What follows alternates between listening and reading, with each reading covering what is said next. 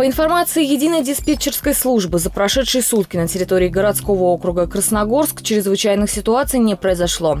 В ЕДДС поступило 991 обращение, требующее реагирования и справочного характера.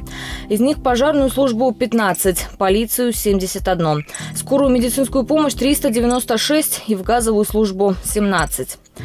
12 января до окончания работ на Пионерской 15 в связи с промывкой водопроводных сетей вода будет подаваться повышенной мутности.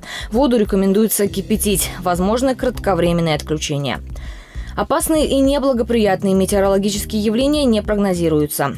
Напоминаем, контактный номер экстренно оперативной службы 112.